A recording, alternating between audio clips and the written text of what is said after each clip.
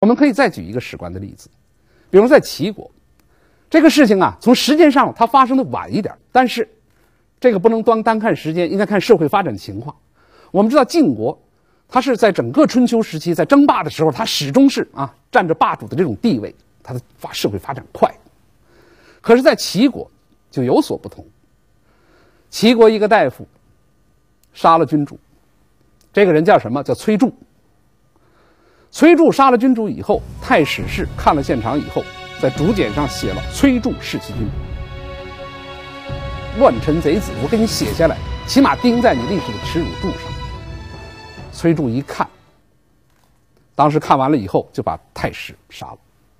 杀了以后，他弟弟太史也是家族性的，他的职业。他弟弟看了这个现场以后，照样写“崔杼弑其君”，又杀了弟弟，再来一个弟弟。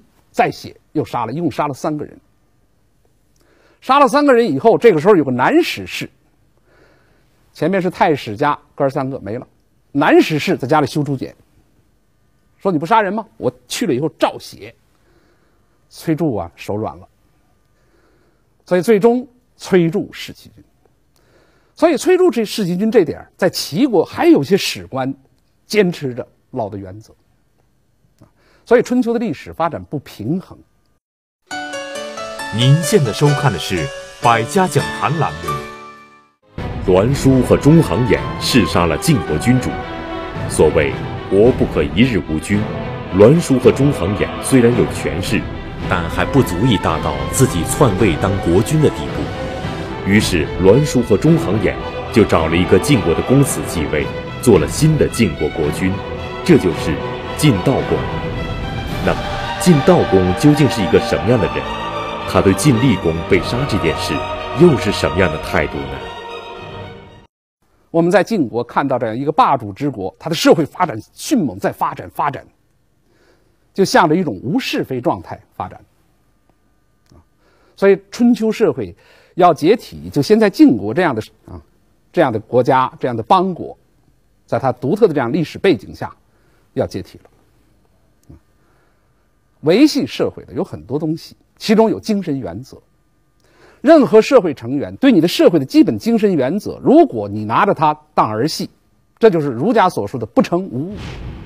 什么叫不成无物？不许随地大小便。你看了这个原则以后，你就随地大小便，这个社会就就肮脏不堪。一个社会的成员，什么叫文明？不遵循自己的准，不遵循社会准则，这叫文不文明。不是随啊，不单是随地吐痰、随地大小便不文明，所有不遵循准则的东西都属于不文明现象。我们看到在晋国，就是发生了这样的不文明情况。当然了，我们这是在骂史官，骂那个史官是一帮吃谁像谁、恨谁偷谁的一帮家伙。可就是晋国的君主，新继位的君主又如何呢？晋悼公这个人非常有为，很聪明。他进入晋国什么情形下？是几个两个权臣把君主杀了。那么这个孙周当时多大年纪呢？就是这个晋国的君主叫周的多大年纪？十四岁。按照我们中国人的这种传统的计岁数方式，是喜欢记虚岁。实际上按周岁算，可能就是十三周岁。小孩子，十三周岁，有些小孩子还尿炕呢。啊，他来了，来了以后就。跟这些大臣，其中栾书、中行衍都在，就说了这几句话。他说什么呢？他说：“我按照我的本来的想法，我没有想到我今天要做君主，这不是我原来想象的。那么我今天能做这个君主，这是天意。首先，我大概是有天命的。然后就说说君主是干什么的？君主是出令的。”家有千百口，主事在一人。一个国家要想健康昌盛，你的军权不利，你还说什么？君主是出令的。那么好，假如我出了令，君主出了令，要不从，就不如没有君主。那么我今天要即位做这个君主，我就想问一问滚滚诸公，我说话算吗？如果我说话算，或者我说话不算？都在你们几位一句话，你们今天就应该给我表明态度。好厉害呀！十三周岁的小孩子，这套话出了以后，这帮大臣一个个都觉得诧异，像栾书、中行也，大概就要分寸出冷汗了。所以这个君主很聪明，而且说他八年之中九合诸侯。按照文献讲，谁九合诸侯一匡天下是齐桓公，是管仲。但是在《左传》中当中，史家就说他八年之中九合诸侯，说他三驾而楚不能争，他出兵三次，驾着战车，楚国人就争不过他，很有作为的。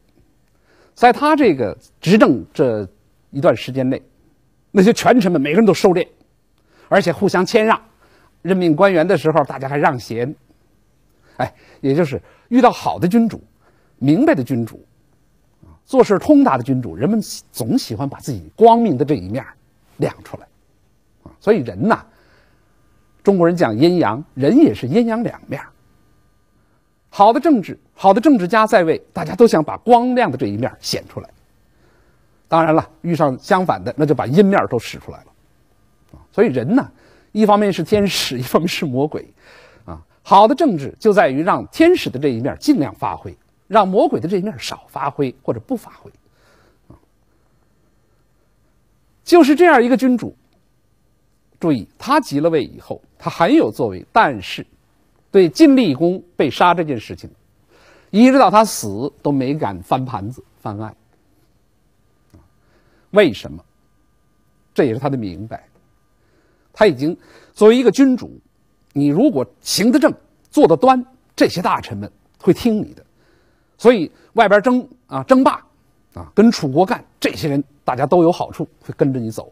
假如你翻过头来，你要想收拾，啊是什么？收拾这些，啊收拾这些权臣，那这个情形就不同了。所以这个问题他没有解决，所以我们不能光说史官们，啊吃谁像谁，恨谁偷谁，就是这样一个非常贤明的一代君主，道公。他也没敢翻这个案子，所以这就是时势比人强啊，形势大过人啊，没办法，读书读到这个地方令人感慨，历史走到这一步了，所以这是我们看到的春秋，实际上这就是到了向后期迅速的坠落这样一个一个事件。那么，这涉及到栾氏。跟中行氏他们的家族杀了君主，注意，虽然就是贤明如晋悼公这样的君主都不敢算他们的账，秋后不敢算，冬天也不敢算啊。但是早晚有人要算，可是将来那个算法都是出于私利了，不是出于公利的算。那么栾氏跟中行氏弑君，他表明了一种社会问题的严重，那就是大家族势力。已经开始到了不可遏制的地步。那么，在这样一种作用下，春秋的历史又将向什么方向发展呢？我们下回再讲。谢谢大家。在春秋时期，为了争夺霸主之位，各诸侯国之间战争不断，其中晋国和楚国势力最为强盛，所以两国的争霸战争打得也最为激烈。但争到最后，晋楚两个大国之间要停战了，也就是要米兵。